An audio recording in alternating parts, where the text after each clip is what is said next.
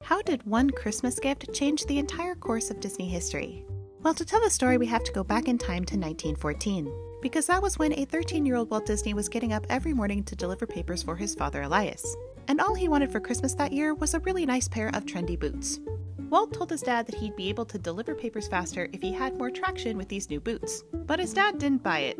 He thought the boots were an extravagance. But come Christmas morning, the boots were under the tree, because Walt's mom and brother had squirreled away some money. Walt put them on and ran to downtown Kansas City to show them off to his friends. But when night fell, it was time to go home.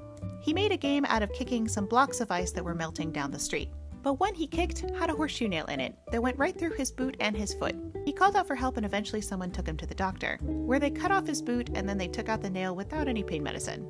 Walt was out of school for two weeks, but when his mom went to the school to get his work, she also brought in the cartoons he'd been drawing. And based on the positive feedback he received, he decided he wanted to become a cartoonist.